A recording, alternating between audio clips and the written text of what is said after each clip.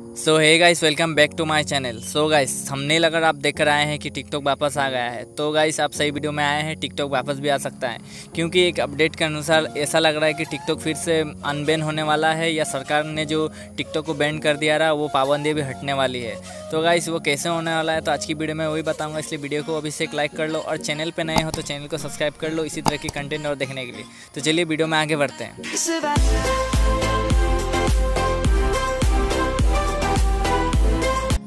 So guys Nikhil Gandhi TikTok India के जो head है, उन्होंने अपने ट्विटर अकाउंट पे एक ट्वीट करते हुए कहा था कि जो कि टिकटॉक ऐप है, वो किसी भी तरह से किसी भी अदर कंट्री के गवर्नमेंट को डाटा लीक नहीं करती। यानी जो चाइनीज़ गवर्नमेंट है, उनको टिकटॉक ऐप से इंडियन डाटा को लीक नहीं करती।